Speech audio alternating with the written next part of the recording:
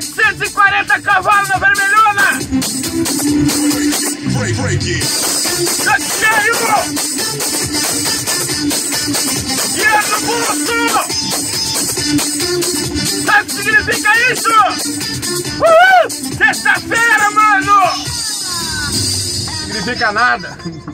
Pegar o dinheiro, encher o tanque do caminhão, pegar o dinheiro, pagar o pedágio e rodar mais 600 quilômetros. Sou caminhoneiro, não tem sexta-feira.